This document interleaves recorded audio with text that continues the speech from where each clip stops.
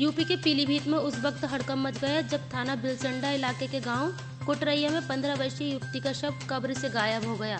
दरअसल पंद्रह वर्षीय अंजलि को पीलिया की बीमारी थी, जिसके चलते युवती की 6 दिसंबर को मौत हो गई थी, जिसके बाद युवती को गाँव में बने शमशान घाट पर ही युवती को दफना दिया गया था। हालाँकि आज जैसे ही गड्ढे की मिट्टी हटी हुई देखी, तभी युवती के परिजनों ने पुलिस को सूचना दी, जिसके बाद मौके पर स्क्वाड टीम, सीओ सहित पुलिस मौके पर पहुँच गई। फ़िलहाल पुलिस ने छानबीन की बात कही है। आपको बता दें कि इसी गाँव में पहले भी एक युवती का शव गायब हो चुका है। उस वक्त भी पुलिस ने कोई ध्यान नहीं दिया। शायद यही वजह है कि पुलिस की कार्यशैली पर भी सवाल खड़े हो रहे हैं। वहीं सीओ विसलपुर ने बताया कि गाँव कोटरैया की युवती की पीलिया की बीमारी की वजह से मौत हो गई थी जिसके बाद उसे 6 दिसंबर को गाँव में बने शमशान घाट पर दफनाया गया था।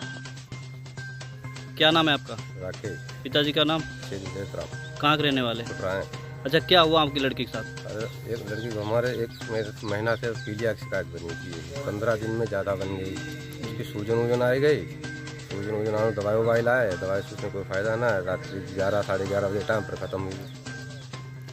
तो कहाँ उसको गाड़ा था मरघट में शमशान घाट। फिर क्या हुआ? फिर सुबह को देखो है वहाँ से रही आज लाश गायब हो गई उसमें लड़की की लाश गायब हो गई? सर, ये जो के रहस्यमय ढंग से लड़की लाश गायब हुई, क्या मामला?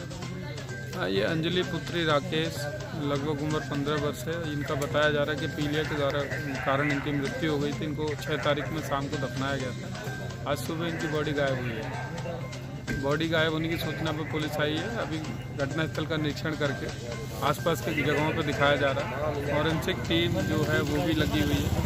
हमारी सर्विलांस की मदद ली जा रही है। जल्दी इसका खुलासा किया जाएगा।